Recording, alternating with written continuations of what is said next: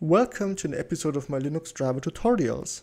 Today I want to show you how you can access a file in your file system from within a driver. But be warned, normally you shouldn't use this feature only if it's extremely useful for you or if you can't avoid it. Normally you should manage your files in your file system from user space instead of over a driver application. So, but there are some reasons where it absolutely makes sense to do so. A good example is um, if you have a device and the driver has to load firmware into this device. And if the firmware is changing a lot of times, maybe compiling the firmware into the driver isn't so good because then you every time you get a new firmware you have to recompile the driver. So here it might be easier to just put the firmware somewhere in your file system and let the driver access it, read it and load it to the device and you're good. There are some reasons to do this, so today I will show you how to do it. Here I am connected to my Raspberry Pi over SSH and the first thing I will do is I will navigate into my Linux driver tutorials folder. In here I have the various Linux drivers I've created for this series of tutorials. And as a template for today, I will use the simple Linux kernel module and I will create a new folder I will call 31 file access. Okay, and now let me cd into it. So here we have a makefile to build our kernel module and our, the source code for our kernel module. And I rename this to file access.c. And of course I have to change this in the makefile as well file access.o. Okay, cool. So now let me open up the source file. And here you can see the sources for a simple Hello World Linux kernel module. For the file operations or for accessing the file system, I need to include linux slash fs.h. And here let me change the description as well um, an example for reading and writing to a file in your file system from a driver. Little bit long description, but never mind. And we will do all the file handling in here in the init function. So first we need some variables. For the file, I need a pointer from the type struct file. Then I will need some data. This is data I will write to the file and then read back. And let's use a quote here. So, hey, careful man, there's beverage here. And this quote is from the Big Lebowski, from the dude. So let's print this out here and then I will need a variable to store in the bytes I've read or written into the file and I will call it len. Okay, so now let's open the file. Therefore, I will need to call the filp open function. This function has several arguments. The first one is the um, absolute path to the file I want to open. And here I will open the file temp dude. The second argument are the flags, which are telling um, with which permission I want to open this file. These are just the same like from user space. So here I'm using o read write to have read and write access and o create to create the file in case it doesn't exist on my file system. The last argument here is the file permissions I want to give the file. And here I will use 644 so owner can read and write, the rest can only read it. So if this returns a null pointer,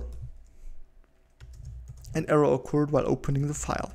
And I will print out file access error opening file. And let's print out the error as well, the error code. Oh, there is no error code here, so we can print it out. And let's return with minus one here from our module. Then the next step is write to the file. For writing, I will use the function kernel write. This function takes several arguments. The first one is the file to which I want to write. The second one is the data I want to write. Then the size of data I want to write. And the last argument is the position in the file and I can get this with f ops and I have to pass a pointer in here because after the write um, the position will change to yeah to where to the last byte we've written to it. And in case this function returns a negative value, so if len is smaller than zero, we have an error here. So file access error writing to file. And let's print out the error code here. Then I will close the file. I can do this with filp close. So the close function here takes two arguments. The first one is the file struct we want to close and the second one is a legacy parameter. It was a pointer to an ID but it's not used any longer so I can set it to null here. And if this worked with success, let's print something out. So uh, wrote bytes to file because in case of success in here I should have the number of bytes which were written. Okay, now let's read it, it back. So the first thing I will do here is I will use memset to clear my data with zeros. Okay, and then I have to reset the um, position in the file to zero because I want to read the file from the start. And now I can use kernel the kernel read function to read from my, from my file. So I want to read from the file, I want to read into data, I want to read size of data bytes and once again here I have to pass in my current position in the file. And once again, if len is smaller than zero, I can just copy this here, these three lines.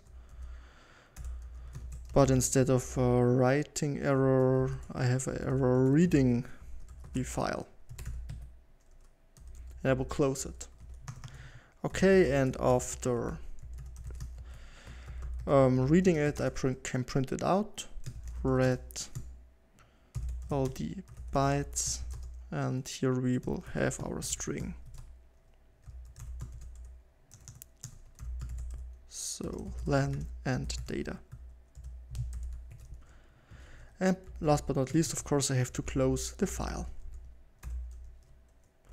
Okay, and this should be mostly it. Last thing I will do here is I will change the text in the um, exit function. Unloading driver. Okay, so this should be it. Let me try to compile it. Therefore, just let's run make. Okay, um, I've made some mistakes here. Let me see, and I will be back when I know what's wrong here. Oh, okay, here I have a typo. It's not fops, it's fpos okay? And this should be no not a long integer but just an integer. Okay so I think I can fix it quite easily.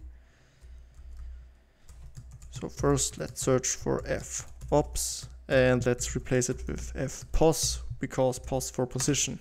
Okay and then the next thing okay they are just warnings but never mind so ld here. Okay. And here I have a typo, so let's also correct this. And now let me try to recompile it.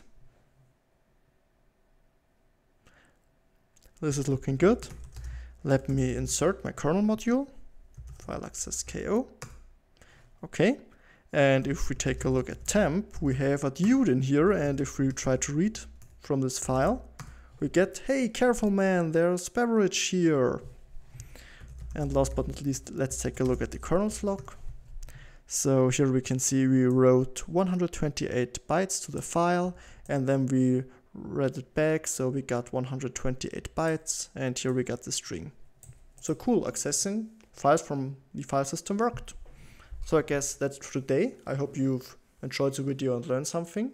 In case you want to support my work, you can buy me a coffee and buymeacoffee.com slash for Linux. Thank you for watching and goodbye.